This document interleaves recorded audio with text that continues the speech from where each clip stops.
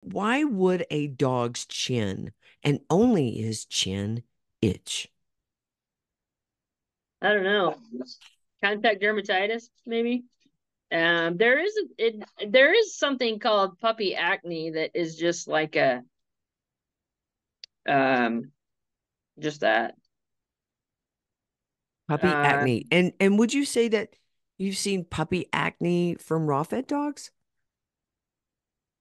Mm, I can't think of any offhand, but I mean, you know, just because a dog's raw fed doesn't mean the rest of his environment is not toxic in some way. That's right. right? I mean, we right? talk about that. He could be getting he could be getting flea and tick meds, he could be getting heartworm meds, he could be getting um frou frou shampoo, he could be um could be getting unfiltered water, he could be rolling around in a, a fertilized or um sprayed yard or um it could just be a skin issue coming out in that specific spot for whatever reason